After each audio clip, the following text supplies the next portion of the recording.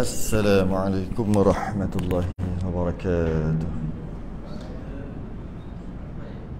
إن الحمد لله نحمده ونستعينه ونستهديه ونستغفره.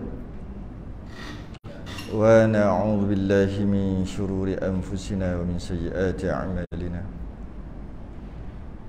من يهده الله فلا مضل له ومن يضلل فلا هادي له. أشهد أن لا إله إلا الله وحده لا شريك له. أشهد أن سيدنا محمدا عبده ورسوله. اللهم صل وسلم وبارك على سيدنا محمد الفاتح لما أغلق والخاتم لما سبق ناصر الحق بالحق والهدي إلى صراطك المستقيم صلى الله عليه وعلى آله وأصحابه حق قدره ومقداره العظيم. اللهم نور بالكتاب بصري وأتلق بلساني واشرح بي صدري واستعمل به جسدي بحولك.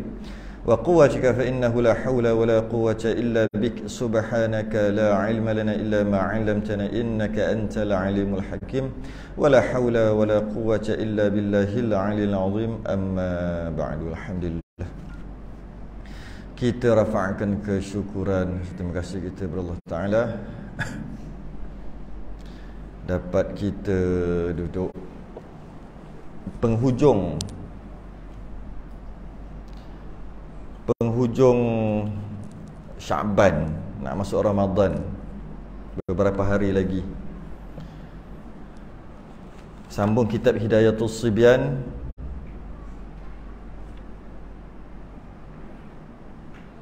Hmm mana?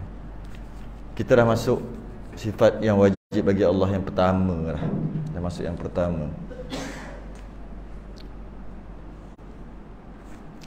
Muka surat 9 Jawi masuk kat 3 Wajib. Qala al-ma'alif rahimahullahu ta'ala.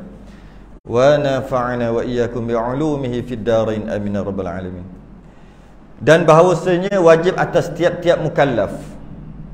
Wajib atas tiap-tiap mukallaf. Orang yang akil dan baligh tu mukallaf pada syarak wajib pada syarak. Mengetahui segala sifat yang wajib bagi Allah. Wajib ni. Sebagaimana kewajipan kita belajar sembahyang wajib belajar puasa wajib lah semua tu. Begitu juga wajib kita mempelajari tentang Tuhan kita sendiri yang kita sembah. Tapi orang tak berapa minat nak mengaji bab ni. Tapi macam mana pun ianya wajib. Wajib tetap wajib Iaitu kena kenal segala sifat yang wajib bagi Allah. Dan segala sifat yang mustahil atasnya. Dan segala sifat yang harus padanya. Dan demikian lagi segala sifat yang takluk bagi zat sekalian Rasul alaihi wasallam Rasul pun kena kenal juga. Kita kena kenal Rasul kita ni. Bukan sekadar kenal sirah aja, Bukan sekadar kenal melalui jalan sirah. Sebab saya rasa uh, boleh dikatakan kita ni memang tak ada masalah. Kalau ken, nak kenal uh, rasul kita nabi kita dengan jalan sirah dengan jalan cerita kisah tak ada masalah kita. Tapi adakah kita kenal juga nabi kita atas jalan akidah? Sebenarnya itu lagi penting. Atas jalan sirah untuk semangat kita. Tujuan untuk semangat. Tapi atas jalan akidah itu pegangan tu. Tu lagi besar daripada atas jalan sirah Contoh eh, sikit lah. Rasul. Kita lahir. Kita beranak lah. Diperanakkan. Rasul juga diperanakkan. Dia keluar ke mana? Siapa kata Rasul keluar ikut jalan macam mana kita keluar ikut jalan tu haram berdosa. Setengah ulama kata kufur. Wish. Apa eh? Tak pernah dengar pun. Nah, sebab tu kita biasa dengar sirah Nabi. Nabi kena baling batu. Nabi boleh balas Jibril datang nak terbalikkan bumi Taif. Nabi kata tak apa, jangan sabar. Kita cerita dengar cerita Isra dan Mi'raj. Semua cerita-cerita tu kita dengar. Itu jalan-jalan jalan-jalan sirah. Nabi duduk dekat Mekah, kemudian pergi ke Madinah. Kita tahu cerita tu. Perlu cerita tu bukan tak perlu. Tapi pernah kita dengar tahu Nabi itu atas jalan akidah, atas jalan pegangan, bukan atas jalan sirah. Itu yang kita kena mengaji tu. Dalam bab ni. Bukan atas jalan sirah semata-mata, atas jalan akidah. Nabi keluar-keluar bukan ikut jalan yang macam mana kita keluar. Setengah ulama kata haram berdosa besar siapa kata begitu, setengah ulama kata kufur siapa kata begitu. Habis dia keluar ke mana? Kok bawah pusat. Terbelah dua, terbelah sendiri. Keluar kau tu. Ha, itu sikit lah Itu iklan Nanti kita masuk muka surat Kita cerita bab tu Nak cerita contoh Bila kita hanya mementingkan Tentang Nabi kita Atas jalan kisah Kisah ni cerita kan ha, Tapi jangan jangan salah faham Penting juga cerita tu ha, Penting bukan kita tak penting Cuma jangan semata-mata atas jalan cerita Atas jalan sirah Jangan semata-mata atas jalan tu Atas jalan pegangan Nabi sidik amanah tablik fatana Macam mana sidiknya Macam mana amanahnya Kena tahu satu-satu. Tapi kita bab kita bahas bab Allah dulu. Ha, lepas ni kita akan bahas bab Rasul. Yang itu kita berhenti kat situ lah hari tu. Berhenti dekat alaihi wassalatu wassalam minggu lepas. Dan bahawasanya dan bahawasanya segala sifat yang wajib bagi Allah yang wajib atas tiap-tiap mukallaf mengetahui akan dia dengan tafsirnya iaitu 20 sifat juga Setiap orang mesti tahu secara tafsir. Tafsir ni secara terperinci, secara detail. 20. Sebenarnya bukan 20, 13. 20 ni yang masyhur, 13 yang mu'tamad. Sebenarnya bukan 20 yang wajib. 13 je. Tapi masyhurnya 20. Tafsir ni detail satu persatu secara terperinci.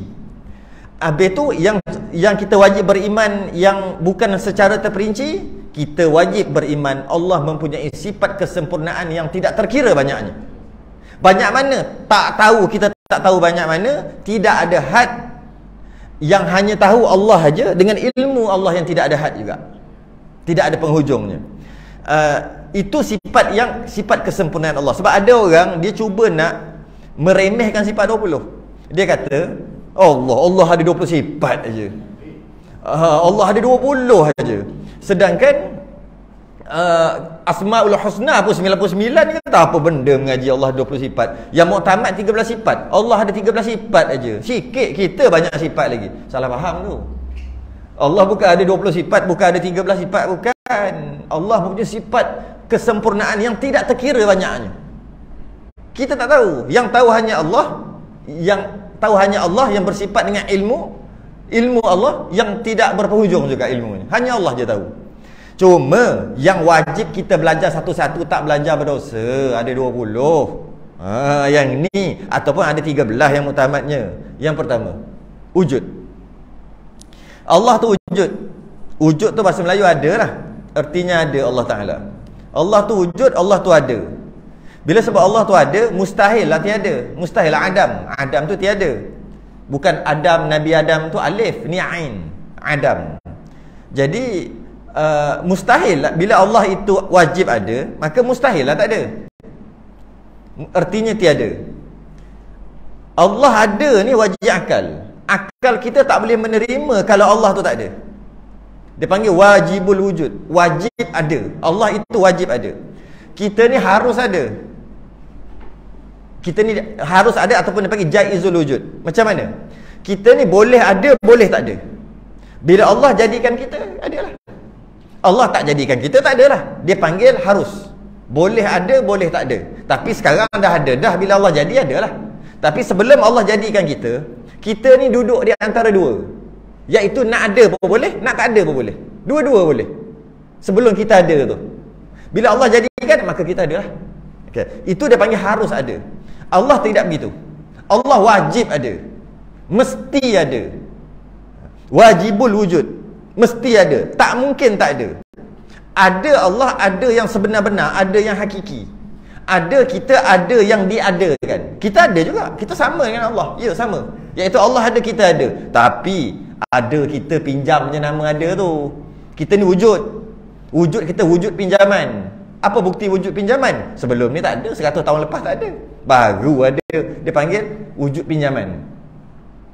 guna je nama ada wujud tu tapi sebenarnya tak wujud pun buktinya 100 tahun lepas tak ada Allah tidak ada sungguh ha, Allah ada sungguh maksudnya ada yang hakiki wajib ada bermula makna wujud itu wujud tu apa? Satu sifat yang sabit bagi zat selama-lamanya. Selama-lama ada zat padahal tiada dikeranakan dia dengan satu sifat yang lain. Ha, susah sikit nak faham. Allah itu wujud. Biasanya orang dulu dia kata Allah ni ada wujud. Uh, wujudnya Allah tidak dikeranakan dengan satu kerana. Ha, istilah dia. Orang pandai bercakap dia suka bercakap gitu kita nak bukan bercakap pandai gitu kita nak faham apa maksud tu tidak dikeranakan dengan satu kerana adanya Allah ada aja bukan ada kerana dijadikan kerana-kerana tak tak ada kerana-kerana ada ada sungguh ada sungguh jadi Allah itu wujud Wujud bila Allah itu wujud mana Allah itu ada. Dia sebut kat sini sabit. Sabit. T S A B I T. Sa sa tu sabit. Setengah kitab sebut sama je. Sabit bagi zat Allah. Zat sabit bagi Allah. Macam mana nak kata? Dia nak bagi tahu apa? Nak bagi tahu Allah itu ada. Dan ada-ada itu tidak perlu dia diadakan tidak perlu dikeranakan Allah ada kerana tu kerana tak ada tak, tak ada kerana Allah ada ada aja satu yang kedua nak beritahu Allah itu ada dia satu sifat yang sabit subut ataupun bahasa dia panggil sungguh dia apa beza saya dah sebut dah sebelum ni kalau ingat lagi lah apa beza ada dengan sungguh apa beza ada dengan sungguh dia ada beza tapi kena kena faham bahasa lah sikit. Saya dah sebut sebelum ni, kena sebut sekali lagi. Nak faham ada dengan sungguh. Ada tu kita ni ada, ada ni. Sungguh, sungguh lah dia. Dua-dua, ada dan sungguh. Ada keadaan yang dia tak ada tapi sungguh. Ha, tak ada tapi sungguh. Tapi kalau dia ada mesti sungguh. Apabila ianya ada sesuatu yang ada, dia mesti sungguh. Tapi sesuatu yang sungguh tak semestinya ada. Gini yang ngaji tauhid. Sabar sebelum masuk pekah. Ha, pekah lagi berapa berapa muka surat sabar dulu. Masuk pekah, pekah sedap kan? Senang kan? Pekah sedap. Ha? Sahabatah, sahabatah, soalan melambak. Memang tak sempat nak baca kitab, soalan melambak pekah. Tapi sabar dulu. Dia tak boleh gitu. Dia tak boleh seronok dengan pekah aja. Pekah memang seronok. Tapi nak sampai seronok tu faham Tuhan dulu. Yang men, yang menurunkan hukum pekah tadi tu. Ini dok semayang tak kenal Tuhan yang dia sembah. Kita faham, dia kena fikir sikit. Beza ada dengan sungguh. Ada bila ada mesti sungguh. Bila ada pastinya sungguh. Tapi kadang-kadang dia sungguh tapi tak ada. Mari kita nak faham. Kita faham dengan cawan ni. Cukup dah. Nak faham apa ni sabit ataupun subut. Cawan ni ada. Ada. Okey. Cawan ni ada. Patut cawan ni kena ada warna baru best sikit. Nak cakap warna apa ni? Tak best contoh ni. Ni ya. Ah, ha, tudung botol. Hmm. Saya nak ambil warna, cawan ni tak ada warna, payah. Tudung botol ni ada? Ada? Tudung botol. Ada. Sungguh tak? Tudung ni sungguh tak ini tudung botol? Sungguh ha? Okay. Uh, dan ianya warna putih. Putih ada tak? Ada lah. Putih. Sungguh tak? Sungguh juga. Tu sungguh. Okey. Bulat ada? Bulat. Ha, bulat bulat bulat. Ada? Mana bulat? Tahu mana bulat? Tadi sekarang ni okey. Tu, tu, tudung botol ada? Ada. Kata ada. Mana? Tu. Ha, selesai masalah. Putih ada? Ada. Mana? Tu. Selesai. Tu putih. Okey, bulat. Ada? Bulat tak ada. Bulat tiada. Kalau tunjuk tak kena bulat. Dia kena kat tudung, dia kena dekat putih. Tu ya bulat tu kita panggil sungguh kita tak panggil ada tapi sungguh boleh dinafikan tak ianya bulat tak boleh dinafikan. Memang sungguh bulat. Tapi ada tak bulat tu? Bulat tak ada. Tekalah Sama Bulat. Okey ambil ni saya baling. Jatuh Pecah. Cawan ada tak? Yang pecah atau cawan ada? Ada lah. Ambil lah. Pecah yang dah Pecah. Pecah ada tak? Pecah? Tak ada. Tapi sungguh. Sungguh. Takkan kata tak pecah dah tu pijak luka tu. Jadi maknanya pecah tu tak ada pecah, pecah tu tak ada. Yang ada cawan yang telah berkecai. cawan yang tinggal daripada satu jadi banyak. jadi 10, 20, 30 daripada satu cawan. Itu ada. Tapi tajam ada tajam. Jangan pijak tajam. Mana tajam? Tu, tu gelas pecah. Mana tajam? Tajam tak ada. Tapi sungguh tajam. Sungguh. Itu bezanya. Kalau istilah tauhid dia panggil gitu. Dia panggil gini. Uh, cawan dia ada diri. Ini istilah tauhid. Eh. Dia ada diri. Iaitu diri dia. Putih dia ada diri. Itu diri dia. Tapi bulat dia sungguh tapi tak ada diri. Ha, itu istilah tauhid. Eh. Tak faham cara gitu pun tak apa. Jadi maknanya Allah itu ada. Okey, kita dulu sebelum Allah kita dulu. Kita ada tak? Ada, ada. Mana ada? Manakah ada itu? Ada? Ke tak ada ni? Tak kau tak ada. Tu ada. Okey, ada. Mana ada? Manakah dia ada? tak ada. Ada tu ada? Ada tu tak ada. Ha itu jadi jadi eh. Kita ni ada tapi ada tu tak ada. Allah itu ada tapi ada tu tiada. Ada tu tiada. Allah memang ada yang cakap Allah tak ada weh. Allah ada.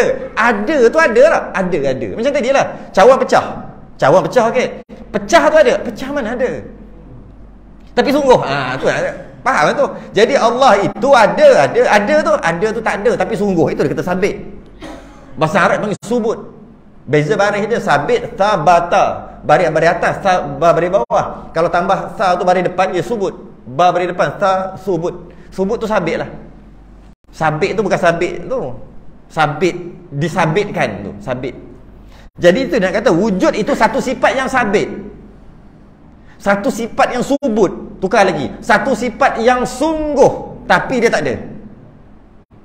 Satu sifat yang sungguh tapi tiada. Okey, untuk kita faham, saya terpaksa lompat sifat ma'ani. Walaupun tak tak masuk lagi kita lompat untuk kita faham. Dia berbeza dengan dia berbeza dengan um, berbeza dengan qudrah. Qudrah. Qudrah iradah, ilmu, hayah, sama, basar, kalam. Ada tujuh. Dia panggil sifat ma'ani. Tak masuk lagi. Tapi nak faham jenis ada dengan sabit dengan subut tadi tu. Qudrah iradah, ilmu, hayah, sama, basar, kalam. Ini sifat Allah juga. Namanya sifat ma'ani, tujuh ni. Allah ada kudrah tak? Ada. Ada. Kudrah tu ada. Uh, ada uh, wujud? Wujud tak ada. Wujud tiada. Allah wujud tapi wujud tu tiada. Allah antara sifat Allah iradah. Iradah itu ada. Tu beza dia. Hayah. Allah hayah, hayah. Ya, Allah bersifat hayah, hidup. Hidup tu hayah itu ada. Dia bukan sungguh, dia ada lagi sungguh. Ha, okey.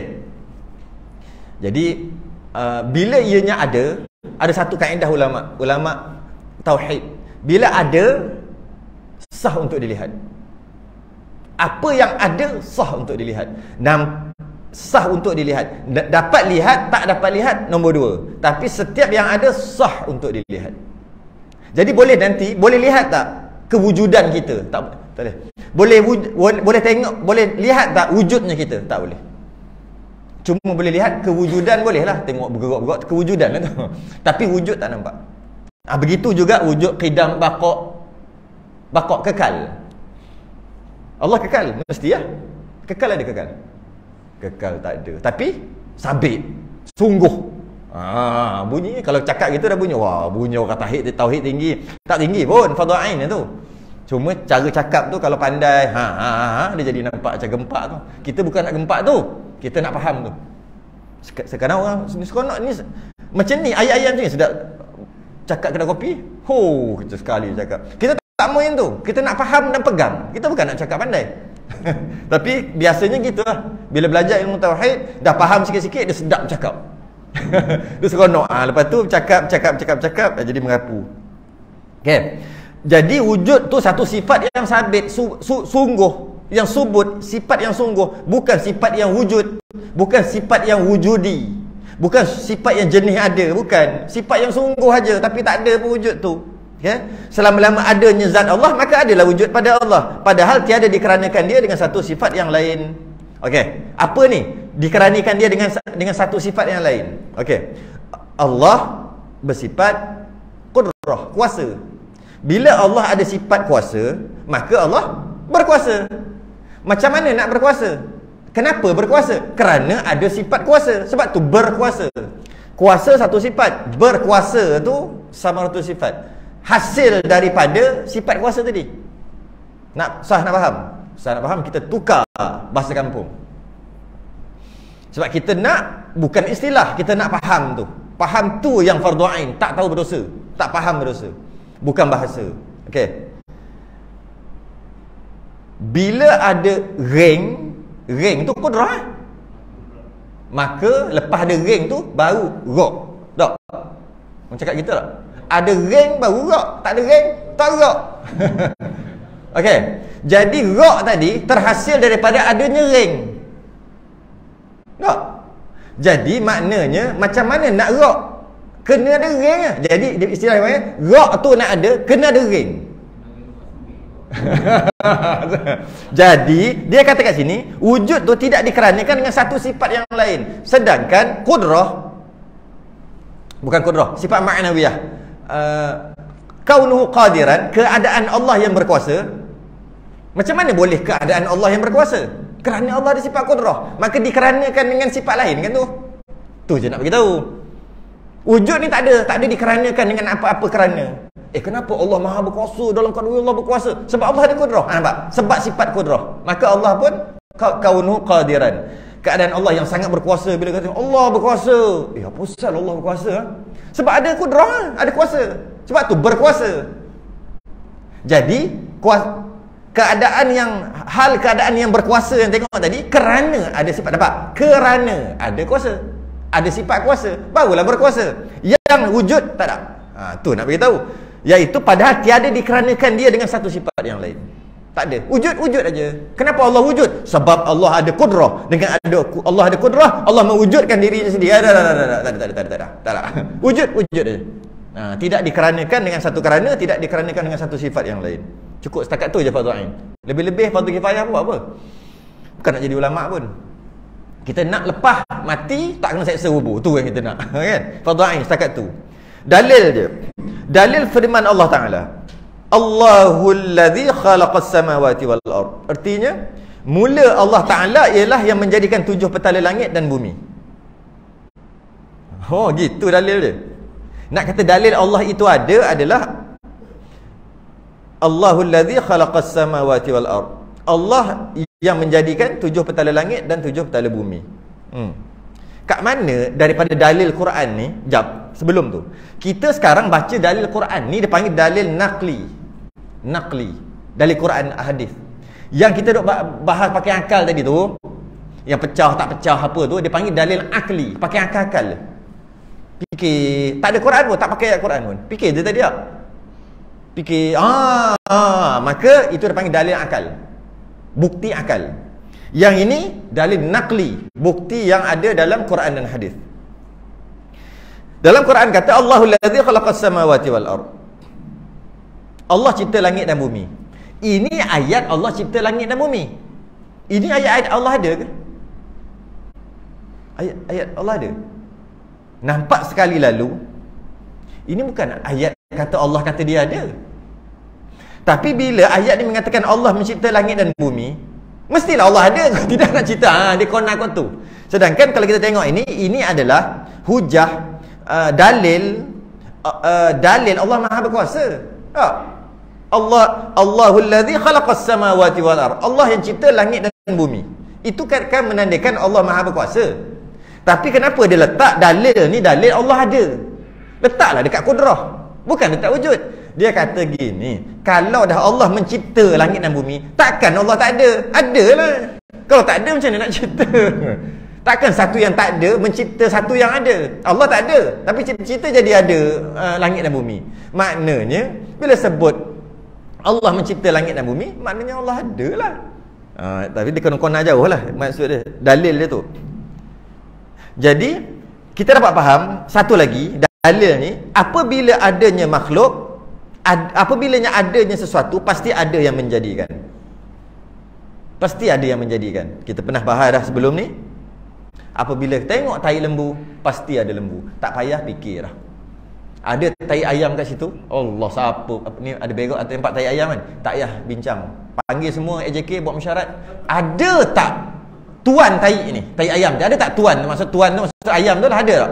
Tak payah mesyuarat. Confirm ada tuan dia iaitu ayam. Cuma tak tahu ayam siapa. Tapi mesti ada ayam. Tak mungkin ada tai tak tak ada ayam. Tak mungkin. Ha? Apa dia? Mesti ada tuan. Walaupun bawa sekalipun asalnya tak ada tak ada tuan. Ha, dia ambil di rumah dia tai. Dia lepas sini contoh kan. Tetap juga ada tuan. Jadi kalau tai pun ada tuan oh, gitu senang. Takkanlah bumi ni tak ada tuan yang buat. Itu kan ha, kat situ itu hujahannya bila takkan tak ada yang membuat langit dan bumi? Bila ada mestilah ada yang membuat langit dan bumi Okay. Bila ada yang membuat langit dan bumi, maknanya dia ada lah. Ha, kita nak cerita wujud ni. Kita bukan nak cerita kodrah. Kodrah nanti. Uh, secara fitrah gitulah. Fitrahnya setiap manusia akan mencari dan mengetahui adanya Tuhan. Fitrah. Fitrah ni gini. Setiap yang dilahirkan, dia ada... Apa dia panggil? Eh? Memang ada dalam diri dah. Contoh, lahir-lahir, isap susu. Siapa ajar dia? Dia memang fitrah. Itu istilah fitrah. Lahir-lahir memang ada dah. Tak payah nak ajar cara isap susu. Kalau tidak mati budak. Tak tahu nak buat apa. Tak yang tahu perut terasa tak selesa. Mak lapar nak buat apa? Bagi susu tak tak reti. Macam mana dia tahu nak isap susu? Ha, itu dia panggil fitrah. Bila lapar, dia menangis. Siapa ajar? Dia panggil fitrah.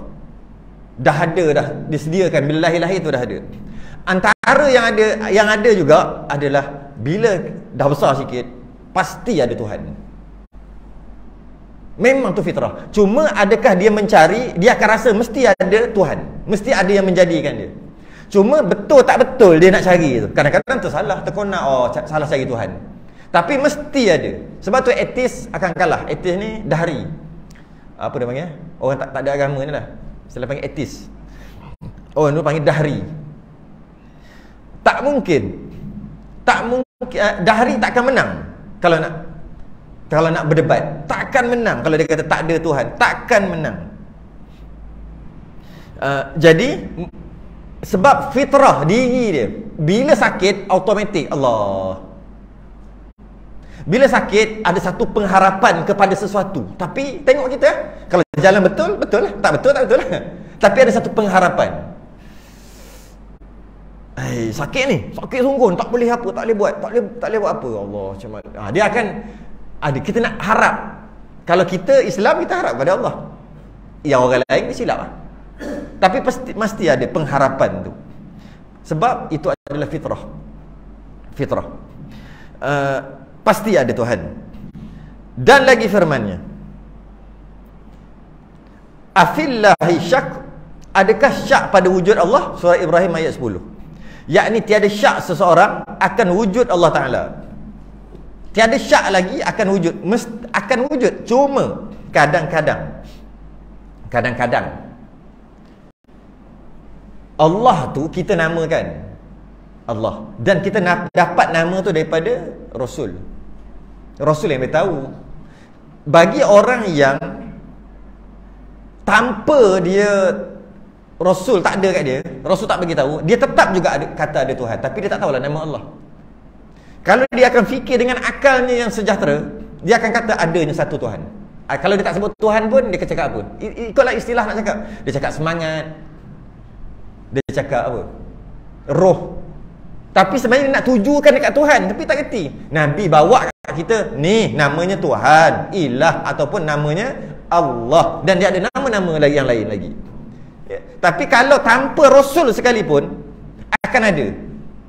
Cuma kita tak boleh namakan tu apa. Mungkin kita namakan tak tahu lah. Namakan apa roh roh ke? Namakan dia semangat ke? Namakan dia apa-apa. Ah, tapi pasti ada satu. Itu uh, fitrah. Tak mungkin kalau tak ada perasaan itu. Semua orang kafir sekalipun ada apa dia panggil? Ada ragu-ragu dalam hati dia tapi dia tak cakap.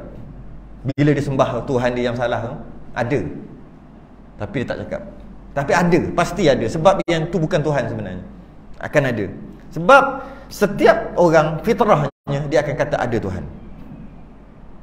Uh, jadi wujudnya Tuhan, wujudnya Allah dapat diyakini dengan asar ataupun tanda.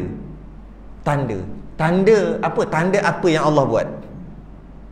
Bila Allah buat, Tuhan tu buat, maka kita tengok uh, apa yang Allah buat tu, kita tahu adanya Allah. Itu je lah caranya. Sebab kita tak boleh nak kenal Allah melalui panca indera. Tak boleh. Panca indera tu mata, penglihatan, pendengaran, uh, uh, apa? Lid, rasa dengan lidah rasa, rasa dengan tangan, apa lagi? Bau dengan hidung. Panca indera, panca indera yang lima. Sedangkan untuk kita dapat maklumat daripada situ lah. Untuk kita dapat maklumat. Ni apa? Pertama dengan mata paling senang. Ho, tu kan nampak. Botol, ada air, tudung semua nampak dengan mata. Kadang-kadang kalau tak dengan mata pun kita boleh dapat maklumat ni apa? Dengan telinga. Air. Bulat. Ha, dia boleh juga. Dapat maklumat tu boleh masuk. Dengan uh, lidah. Boleh? Um, air gitu gini tuan. Boleh lah tak, tak banyak sikit tapi dapat maklumat daripada uh, deria rasa kita. Boleh juga daripada bau. Masuk air dalam hidung. Oh ini jenis air ni gitu gini gitu gini. Kita dapat maklumat. Kerana ia ada, maka boleh dapat maklumat dengan panca indera. Allah boleh dapat dengan panca indera? Tak boleh. Bila tak boleh dapat dengan panca indera nak dapat dengan apa? Ada satu lagi Allah bagi akal. Kalau tak ada bagi akal sebab tu orang yang tak ada akal tak wajib kenal Tuhan. Sebab dia tak boleh nak pegang Tuhan, tak boleh nak bau Tuhan, tak boleh nak nak rasa Tuhan, tak boleh, semua tak boleh.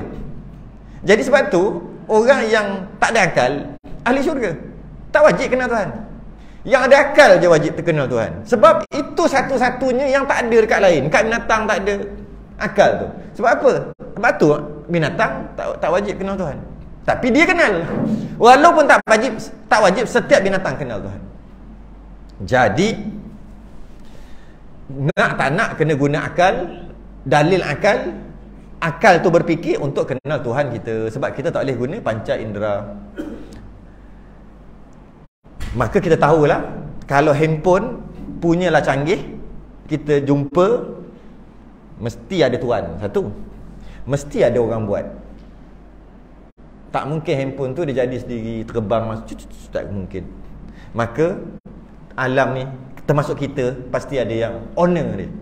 Tuan punya pasti ada yang buat cukup fardu ain kat situ yang kedua qidam qidam artinya sedia Allah Taala kita nak lepas fardu ain je kadang-kadang kata susah ngaji tauhid sebab ngaji fardu kifayah ngaji ta'alluq Ta'aluk Tanjizi Qadim dah dengar? Tanjizi Hadis Suluhi Qadim. Memang lah. Ta'aluk, ta'aluk, ta'aluk bahas memanglah payah. Tak payahlah masuk ta'aluk sikit-sikit dah lah. Fadu'ain. Qidam. Qidam tu apa? Artinya sedia Allah Ta'ala. Sedia. Sedia. Qidam tu sedia. Setengah kitab kata sedia kala. Sedia kala. Mustahil hudus. Mustahil ia hudus. Hudus tu baru. Hudus tu baru. Jadi Allah antara sifat Allah adalah qidam. Qidam ni sedia. Payah nak faham sedia. Orang dulu 100 tahun lepas fahamlah sedia tu apa. Kita tak faham sedia ni apa.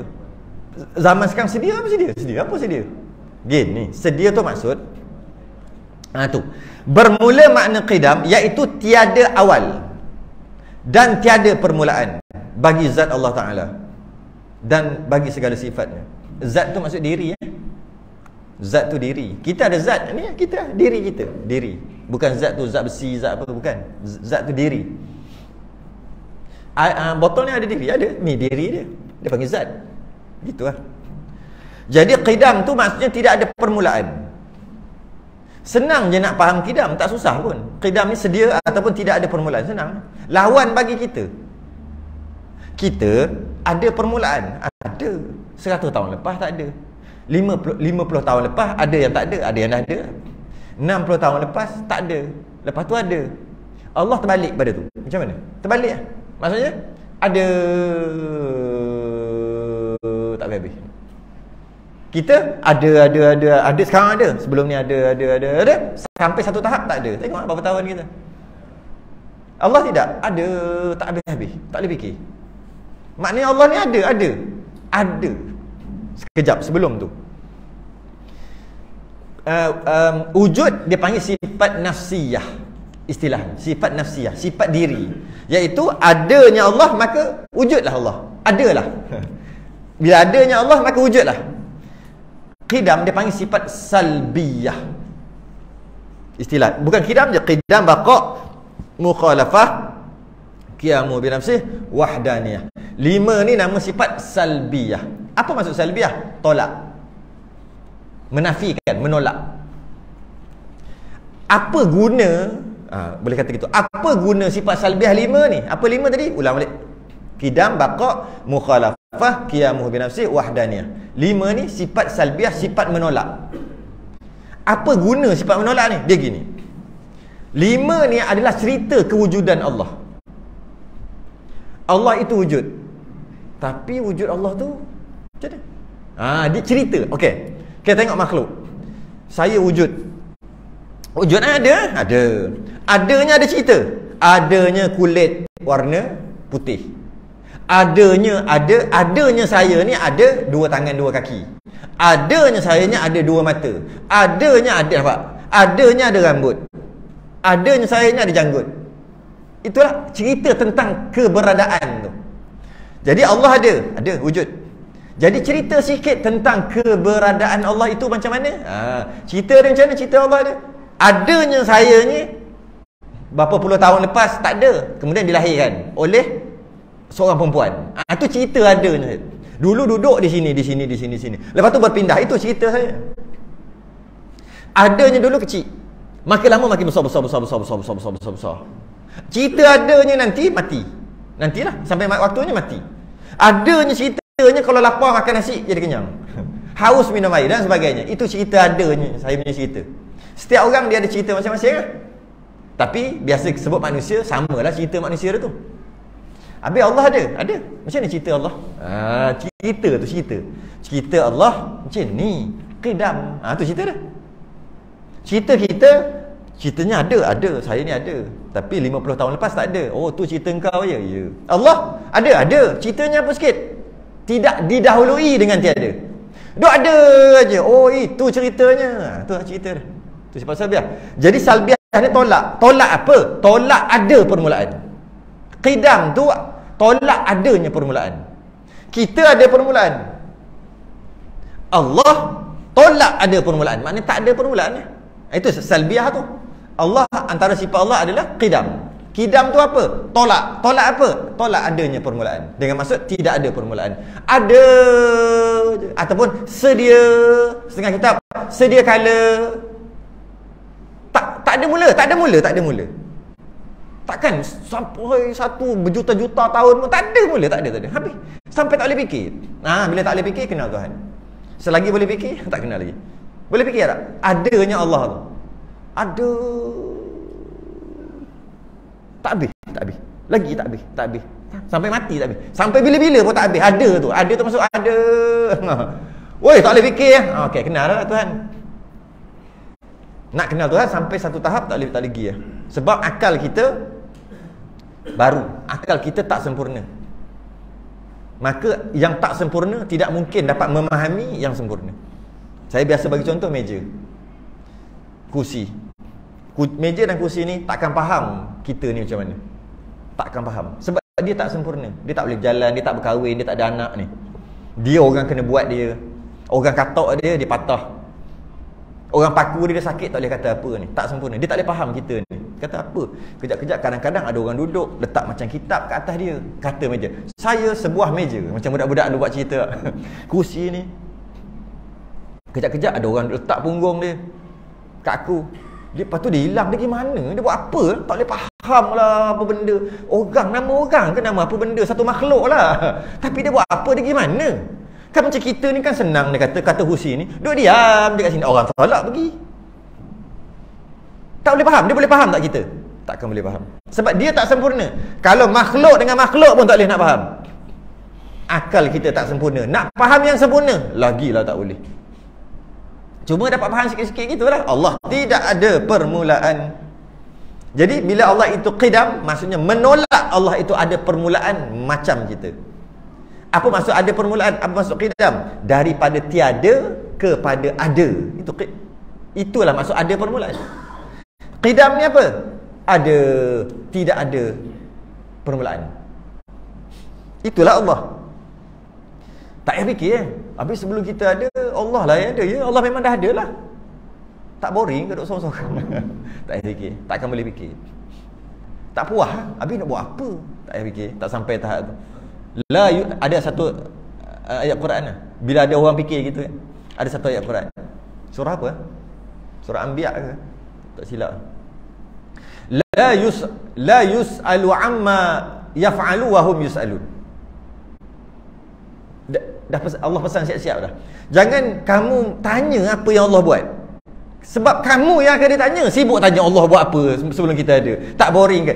Kita yang akan kena tanya akhirat nanti. Sibuk tanya Allah buat apa, Allah buat itu, Allah buat ini, kenapa Allah buat itu, kenapa Allah buat ini. Duk mempersoalkan Tuhan buat apa? La yus'alu amma yaf'alu wa hum yus'alun. Jangan kamu tanya kerjaan Allah. Kerana kamu yang akan ditanya. Bukan Allah yang akan ditanya. Jadi kita faham gitu. Jadi uh, lima ni yang pertama adalah qidam adalah sifat salbiah, sifat yang menolak. Nolak menolak apa? Menolak adanya permulaan. Sebab kalau adanya permulaan, maknanya daripada tak ada kepada ada. Kalau daripada tak ada kepada ada, kalau tidak kidam, kalau tidak kidam. Daripada tak ada kepada ada, maknanya macam kita. Daripada tak ada kepada ada, sama dengan kita. Kalau macam Tuhan sama dengan kita. Dan kita dah meyakini, bila mula-mula tak ada, lepas tu ada, Pasti ada yang menjadikan macam tai lembu tadi, tai ayam tadi. Maka secara automatik Allah kalau sama macam kita, tak ada lepas tu ada, mana ada yang jadikan? Bila ada yang jadikan, itu bukan Tuhan. Yang menjadikan tu pula Tuhan. Jadi kerana itulah Allah itu qidam. Tak sama macam kita. Okey. Uh, Jadi syarat nak dikatakan Tuhan yang layak disembah, ha tu syarat ni. Syarat ni. Lima ni cerita tentang Allah. Lima apa? Antara yang pertama kidam lah. Kidam, baqa, mukhalafah, qiyamu bin nafsi, wahdaniyah. Lima ni cerita tentang Allah, cerita tentang Tuhan. Dan lima ni juga adalah syarat nak jadi Tuhan. Siapa nak jadi Tuhan? Semua lima ni. Boleh jadi Tuhan. Pertama sekali, kidam. Tidak ada permulaan. Kat situ kalah lah. Kalau tak boleh jadi Tuhan. Kenapa kita cerita gini? Itulah syarat nak jadi Tuhan. Iaitu lima. Kalau tidak, ha, orang salah faham. Jika dia tak faham, syarat nak jadi Tuhan. Rukun Tuhan. Boleh tak? Pelik lah bunyi. Sebab ramai orang mengaku Tuhan. Jadi kita tengok, cukup tak syarat sah Tuhan? Saya reka-reka je ni. Syarat sah Tuhan. Sebab orang yang mengaku Tuhan, Berhala tu dia mengaku Tuhan. Mari kita tengok dekat berhala. Betul tak tu Tuhan? Adakah cukup syarat sah Tuhan? Sebenarnya Tuhan itu adalah yang takrif Tuhan, definisi Tuhan adalah yang mempunyai sifat istighna dan iftiqar. Itu kita faham tu. Kita nak faham bahasa-bahasa kampung. Itulah Tuhan. Berhala tu. Mari kita tengok syarat sah Tuhan. Pertama, wujud. Ah, wujud betul. Okey, cantik dah ada wujud. Dan kewujudan ianya qidam, tidak ada permulaan. Hmm, habis dah. Tak boleh kata Tuhan. Sebab apa? Dia pun orang buat. Itu tak kira bakok lagi. Bakok mukhalafah, bakok sepak terbalik patah dua. Hmm, lagilah bukan. Cerita qidam dah kalah dah. Dah gagal lah. Itu bukan Tuhan. Mu salah. Mu tak erti. Yang tak Tuhan pergi kata Tuhan. Tak pandai, tak erti. Salah. Dia panggil jahil murakab yang kita bahas sebelum ni. Dia kata itu Tuhan. Sedangkan itu bukan Tuhan. Tapi dia yakin tu Tuhan. Jahil berlapis. Jahil murakab. Jahil tuki. Ya, jahil tuki. Bukan jahil basit. Jahil basit, jahil yang terpuji. Jahil selapis. Iaitu dia tahu dia jahil. Dia tahu dia tak tidak tahu. Tu bagus. Aku tahu lah aku bodoh. Bagus. Dia panggil. Ha? Jahil tuki dia tak tahu yang dia tu tak tahu. Ah, ha, itu memang tuki, memang habis dia panggil jahil murakab. Jahil berlapis atau jahil tuki. Jahil sungguh. Dia kita tu, bagi tahu dia salah pun dia kata dia betul lagi. jahil tuki. Jadi maknanya dia kata tu Tuhan, mu tak reti Tuhan tu dia mesti ada lima paling kurang syarat untuk kita kata dia Tuhan. Pertama qidam, baru sebut qidam dah gagal lah. Begitu juga Nabi Isa. Ada orang kata Nabi Isa tu Tuhan. Mari kita tengok syarat sah Tuhan. Yang pertama, tidak ada permulaan. Hmm, Nabi Isa dilahirkan oleh Siti Maryam. Habis dah itu. Gagal untuk menjadi Tuhan. Siapa lagi nak jadi Tuhan? Mari kita tengok syarat sah Tuhan. Memang tak jumpa lah. Saya saja buat cerita gitu nak bagi faham. Itulah syarat satu kan. Tapi baru satu, banyak lagi, ada lima. Nah, itu tak masuk sifat ma'ani berkuasa tu cerita lain lagi. Baru lima, satu pun dah. Satu yang pertama dah. Tu ayah pen. Ayah, ayah pen mengaku Tuhan tak? Dia tak mengaku Tuhan tak? Dia mengaku wakil Tuhan. Pandai ayah pen. Kalau ayah pen tu mengaku Tuhan, mak dia sekeh kepala. Sebab apa? Tuhan ni tidak ada permulaan. Kau aku beranak kamu. Ha, sebab tu ayah pun cerdik. Dia tak mengaku Tuhan. Dia mengaku wakil Tuhan. Wakil kerajaan langit. Ha, tapi hebat sampai sekarang tak tahu ke mana dia. Mana dia? Mati lah. Sungguh? Gaib. ha. Dia mengaku wakil. Saya wakil Tuhan. Saya tengok video-video dia masa tu. Orang apa Hindu minum air kaki dia. Dia rendam. Oh Hindu minum. Gong gong gong gong. Uh. Power. Sebab dia adalah kelebihan yang orang tu nampak kat dia apa. Tapi katalah nak kata Tuhan, tengoklah syarat-syarat. Tu kata, ayah pin pun cerdik. Cerdik lah dia mengaku wakil Tuhan. Ada yang Rasul Melayu tu sama juga. Dah tak jawatan dah kata dengan cerita. Rasul boleh letak jawatan.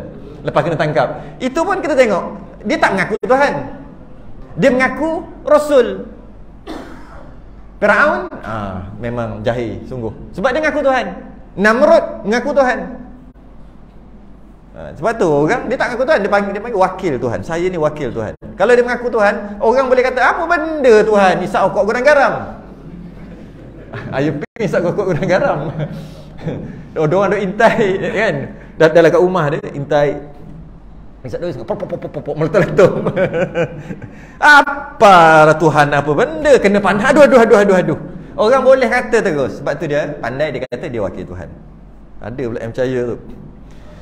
Ha, Jadi Bila lemah tak bolehlah jadi Tuhan. Dan tak cukup. Syarat yang pertama iaitu qidam Iaitu tidak ada permulaan pun dah gagal. Dalilnya Firman Allah Ta'ala Huwal awal Ialah yang awal Yang tiada permulaan baginya Sebab tu dalam Quran Hati-hati Al-Quran Kalamullah Kita tak boleh baca terjemahan tak boleh. Kita nak baca terjemahan, kita baca tafsir. Itu lain. Sebab tu kalau kata Quran tebal ni, tafsirnya tebal ni. Maknanya satu-satu tebal-tebal ni, akhir sekali tebal. Tengok tafsir Ibn Qasir ke tafsir apa? Tebal ni. Kenapa tebal ni menceritakan tentang Quran tebal ni? Sebab nak faham, dia tak boleh faham gitu aja. Ini tidak, Quran tebal ni. Tebal ni Quran. Bila terjemahkan dia je tebal ni. Eh, dua kali ganda je.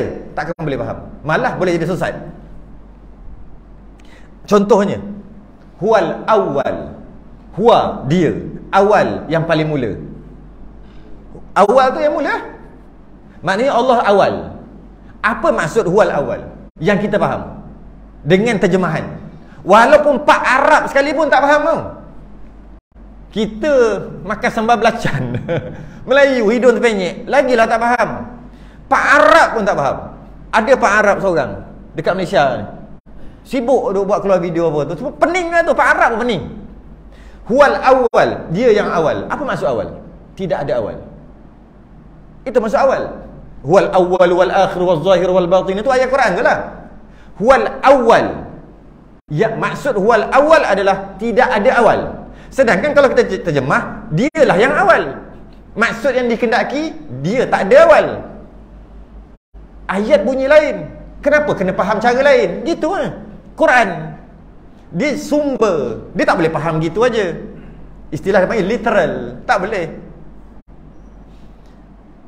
ada ke orang cakap gitu dia cakap huwal awal dengan maksud tidak ada awal dia dialah awal apa maksud dia awal dia tak ada awal kalau dia tak ada awal cakaplah dia tak ada awal eh tak huwal awal dia awal dengan maksud tak ada awal begitulah seninya Quran. Sebab tu nak faham Quran, paling kurang kena ada 18 ilmu. Paling kurang. Itu pun boleh tentu. Kita ambil baca terjemahan tu faham. Tak boleh faham. Garanti sesat. Boleh kata gitu. Melampau. Tak percaya. Ambil Quran, baca sekarang kita tengok. Cuba cerita tentang dalam Quran tu cerita pasal apa. Pasti. Huwal awal. Maksudnya tidak ada awal. Huwal akhir. Dialah yang akhir. Maksudnya tak ada akhir. Tapi dalam Quran kata Allah last. Allah akhir. Bila sebut Allah akhir, mana ada lah akhir? Eh tak, maksudnya Allah tak ada akhir. Kalau Allah tak ada akhir, kenapa kata Allah akhir? Katalah Allah tak ada akhir. Ha, kita malah kita nak mempersoalkan Allah pula. Alah, kita pun guna juga ayat tu. Kita kita selalu duk nasihat dia, selalu duk ajar jenis jenis tak makan dia ajar. Lama kita marah. Kita tak panas panas. Kita pun kata, Allah, apa lama ni cerdik sangat. Maksudnya bodoh. Bukan maksud cerdik. Letih aku nak ajar mu ni. Cerdik lah. Cerdik lah. Ih, ih, ih. Maksudnya, bodoh lah mu ni. Aku ajar banyak kali. Yang kita pun bercakap terbalik gitu. Kita pegang baby kan. Alah busuk-busuk. Padahal baru mandi. Bukan dia kencing. Yang dia begok pun kata busuk. Alah busuk-busuk. Alah busuk-busuk. Budak tuan ni. Antara bau-bau per, apa? Antara dekat-dekat dengan bau syurga adalah bau bayi. Sebab tu orang suka cium. Lagi kecil Lagi Lagi Lagi Macam ada Bau syurga lah Mudah kata Walaupun dia tak pakai bedak pun Oh nak cium budak baby. Tapi kita kata apa? Alah busuk-busuk Alah busuk-busuk apa bau lepas mandi? Bukan. Biasalah cakap terbalik-terbalik gitu. Biasalah. Quran Lagi lah. Dia panggil, Banyaklah ayat-ayat Metafora. Ayat majas. Penuh dengan balarah ha. Jadi huwal awal. Kalau kita kata huwal awal maknanya Allah lah yang mula-mula ada. Allah lah yang mula-mula ada sebab Allah awal. Sedangkan bukan maksud itu maksudnya Allah tak ada awal. Huwal akhir. Maknanya Allah lah kali. Semua dah mati baru Allah mati gitu. Bukan maksudnya Allah tak mati-mati ataupun Allah kekal. Allah tak ada akhir. Tapi kenapa kata huwal akhir? Betul? Huwa la akhir. Oh betul. Tidak ada akhir. Ha, biasalah cakap itu seni seni dalam bahasa habis tu dalilnya Allah sendiri kata dia adalah qidam. Tidak ada awal. Firman Allah Taala wal awal. Uh, ayat um, ayat ada satu ayat Quran. Uh, la taqrabus salah wa antum sukara. Janganlah kamu sembahyang ketika kamu mabuk. Apa kita dapat faham? Kalau kita kita faham bodoh-bodoh. Kalau tak semayang boleh mabuk. Sebab ayat Quran kata jangan semayang ketika mabuk Mana kalau tak semayang Boleh mabuk. Gitu. Maksud sebenar gitu. Tidak. Ha, Jadi nampak? Kalau baca terjemahan Biasanya gitu lah. Janganlah Baca tafsir. Cuma nak baca tafsir. Tengok ya Allah. Tebal sangat. Satu lagi bakok boleh tak? Kita nak cuti 40 berapa hari lepas ni? Sungguh. 40 lebih hari. Satu lagi bakok last. Lepas ni cuti panjang yang ketiga bakok Yalah puasa lagi 30 hari Raya Sini minggu ketiga Minggu empat. Saya silap syawal habis. Tak maksudnya Start balik lepas raya. Jangan lambat ha, Minggu ketiga saya silap Habis syawal. Dah puasa 30 hari Raya pun 30 hari ya. Standard lah kita Padahal raya sehari ya. Jadi silap-silap kita akan jumpa lagi-lagi 60 hari daripada sekarang. Saya nak habiskan bakok satu lagi. Sebab nak completekan Allah qidam bakok. Cantiklah tu. Bakok artinya kekal. Kekal Allah Taala. Bermula maknanya makna kekal tu, makna bakok tu. Hmm, jap bakok. Kidam bakok. Ya. Bermula maknanya itu tiada akhir dan tiada kesudahan. Tak, tak musnahlah. Tak mati ya bagi zat Allah Ta'ala dan bagi segala sifat-sifatnya. Lawannya lawannya taruwal adami. Ain tu adami bukan a ain. Bukan alif ain. Adam. Adam tu maksud tiada lah. Kedatangan oleh adam padanya iaitu mustahil. Kedatangan tiada. Kita akan datang tiada nanti bila kita mati. Maka Allah tidak. Yang kita panggil kekal lah. Ini senang sikit nak faham kekal. Kekal tu maksud apa tak, duk ada sampai bila-bila. Ha, dia sama dengan kidam. Kidam kod belakang, ni kod depan. Kidam tak ada mula ada ada ada ada, ada sampai tak boleh fikir. Bakok ada tak musnah-musnah sampai tak boleh fikir. Ha, sampai tak boleh fikir tu tak habis. Sentiasa ada. Se, uh, dia panggil kekal. Allah kekal. Tiada akhir. Tiada kesudahan. Bolehlah guna ayat macam mana pun. Lawannya kedatangan oleh tiada. Itu lawan dia. Jadi baqa' adalah uh, tiada kesudahan. Uh, Allah tu kekal, kekal. Um, baqa' ni juga sama juga kekal. Kekal sifat salbiah yang kedua. Iaitu sifat yang tak ada. Kekal ada kekal. Kekal mana ada? Allah kekal. Ya Allah kekal. Tapi kekal itu tiada. Tapi sungguh. Sungguh. Ha, subut. Sabit. Sungguh. Kekal. Uh, baling. Aduh. Sakit. Ada sakit? Tak ada sakit. Yang ada lebam.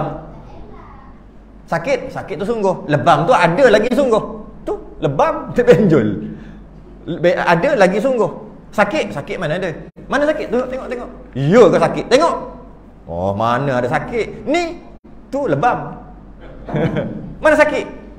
Sungguhlah. Ah, cakaplah sungguh kata ada sakit. Sakit mana ada? Sakit tu sungguh. Tidak boleh dinafikan sakit. Tak saya mari aku kata pula. Ah, dia beza sung ada dengan sungguh. Dengan sabit. Jadi ini juga jenis sungguh, bukan jenis ada. Jadi Allah itu kekal Kekal itu tiada Kekal, bakok tu tak ada Tapi sungguh, mestilah kekal Takkan Allah musnah pula Dan ia menerangkan tentang Kewujudan Allah. Saya ada Cerita tentang saya 50 tahun lepas lahir.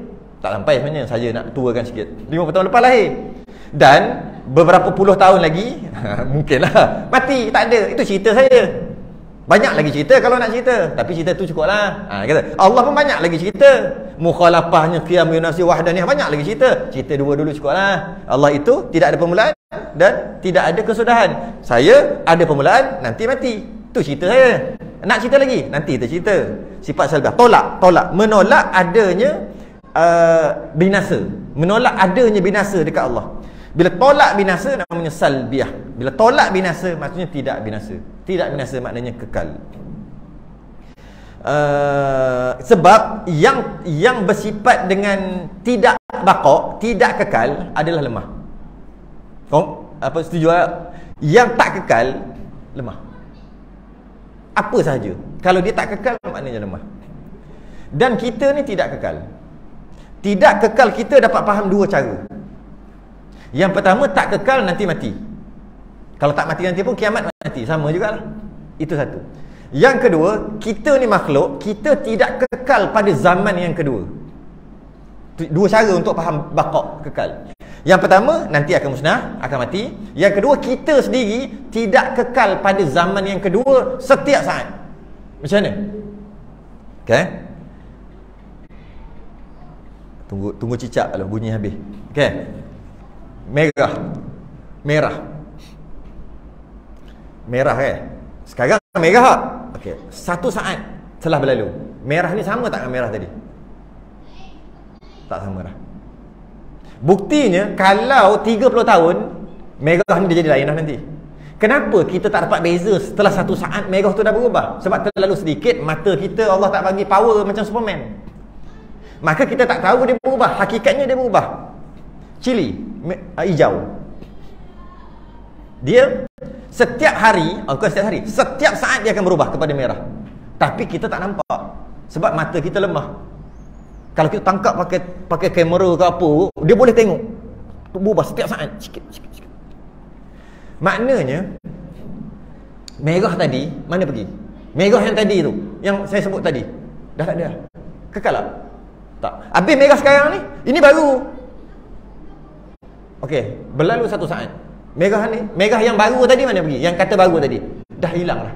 Dah binasa. Ini, ni merah baru. Kita tak perasan. Kita pun sama. Kita sekarang. Ya, kita ada. Okey, pukul 8.46. Jap, mana jarum? 8.46 saat. Okey, dah gerak satu saat. Mana 8.46 35 saat tadi? Sekarang dah 36 saat lah. 35 saat tadi hilang lah. Mana? Binasa. Tak kekal. Habis yang 36 itu baru. Okey jap jap. Mana yang 36? Sekarang dah 37 lah. Binasa. Setiap saat kita binasa. Kita bukan binasa nanti mati. Mati tu sungguhlah binasa. Dan kita setiap saat binasa. Semua. Okey sekarang ini. Sekarang saya letak tangan kat bawah. Mana yang kat atas tadi? Binasa. Angkat. Mana yang kat bawah ni? Binasa, binasa, binasa, binasa, binasa, binasa, binasa. Apa saja kita punya semua mata apa semua makan apa saja kapet. Kenapa kapet ni setelah ini berapa tahun? 40 4 tahun. Kenapa masa 4 tahun tahun yang pertama 4 tahun, 4 tahun lepas, kenapa warna lain? Ini warna lain lah ni. Lain. Mana padahal dia berubah setiap hari. Bukan setiap hari, setiap saat. Kita tak perasan. Kita perasan lepas tahun 2 tahun. Sebab mata kita lemah. Jadi sebenarnya makhluk ni sentiasa binasa. Okey. Bila sentiasa binasa, tapi ada juga kita ni. Kapet ni kekal ada. Kita kekal ada. Memang dok ada lagi. Tapi kata binasa. Sebab bila mati, bila tak ada, matilah tu. Bila hilang, bila tak ada, kemudian Allah adakan balik. Tak ada Allah adakan balik. Tak Allah adakan balik. Tak ada Allah adakan balik. Tak ada Allah adakan balik. Setiap saat Allah adakan balik kita. Sebab kita mati setiap saat.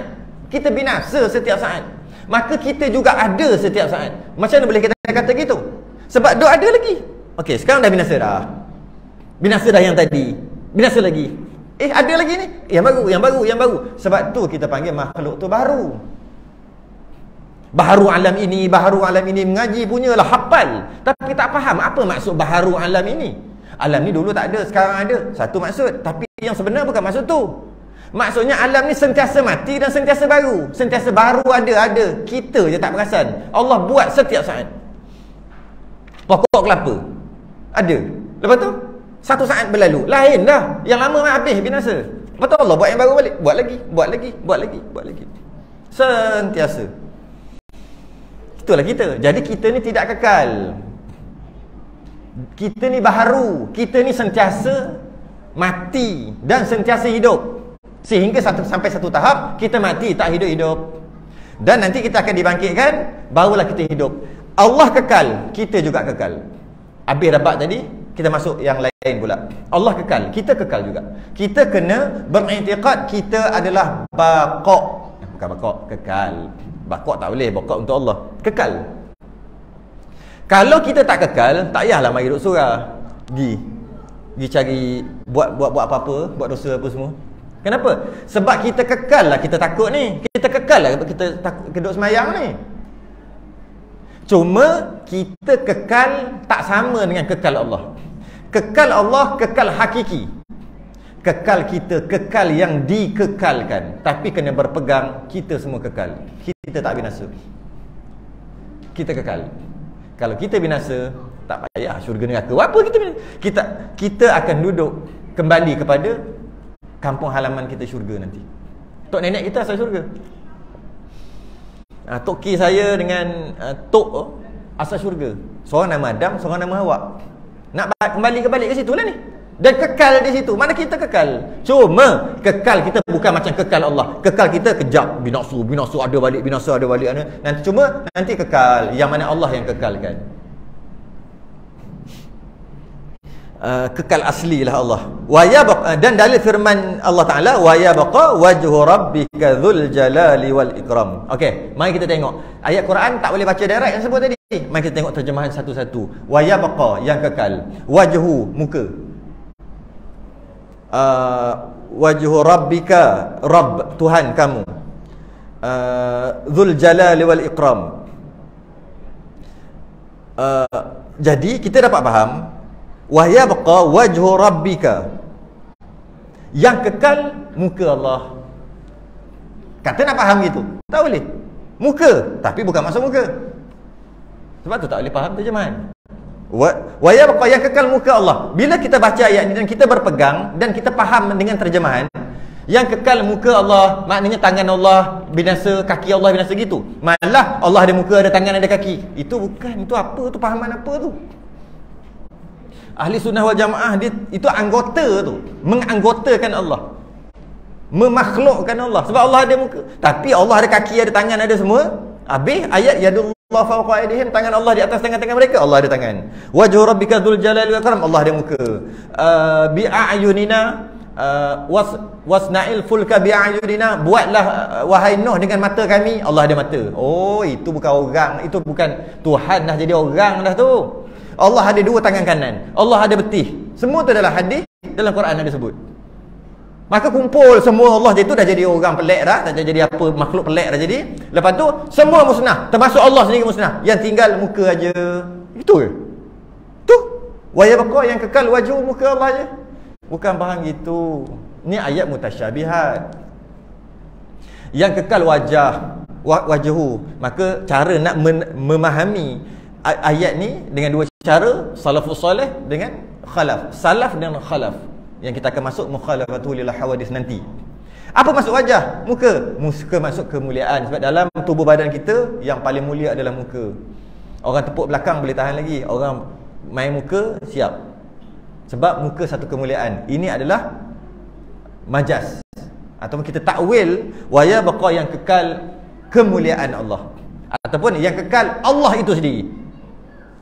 Zat Allah, diri Allah itu kekal. Dalam Quran bukan tulis diri, bukan tulis zat Allah, tulis yang dalam Quran ada wajah muka, tapi bukan faham gitu. Macam tadilah. Kita mana boleh faham Quran macam tu aja. Ini pai ayat mutasyabihat. Habis. Masuk kita mukhalafatuhu lil hawadith lagi 48 hari daripada sekarang. Allah tak sama dengan makhluk. Zaman sekarang ni ada satu fitnah ilmu yang ada dalam media sosial ada ada macam-macam fitnah. Fitnah ilmu dia panggil iaitu menyamakan Allah dengan makhluk walaupun dia tidak me- mengaku. Dia tak mengaku, eh tak. Kami tak kata Allah sama dengan makhluk, tapi cara dia cakap tu macam Allah dengan makhluk. Ada golongan ini yang di yang dikekang oleh mufti-mufti kebanyakan mufti yang ada. Sebab tu ada majlis agama semua duk, ni duk, nak um, tahan nak sekat daripada tersebar. Tetap juga tak uh, tersebar juga. Sebab apa tersebar? Sebab dalam dalam apa? Dalam media sosial terbuka. Maka makin ramai sekarang ni makin ramai dah berpahaman-pahaman sonsam. Kenapa kenapa salah faham tentang mukhalafatu ta'ala lil hawadith. Allah tak sama dengan baru tapi dia tak boleh faham sungguh-sungguh. Kemudian dia telah sibuk dengan ayat mutasyabihat sehingga dia menyamakan walaupun dia tak mengaku lah. Tak mengaku dia menyamakan dengan dengan makhluk. Allah dengan makhluk. Tapi dia kata Allah duduk kat arash kita akan bahas tu akan datang. Itu sudah dengan tasbih kafarah dan suratul Allah subhanahu wa ta'ala. Asyhadu an la ilaha astaghfiruka wa atubu ilaik. Insan lafi khusrin lil ladina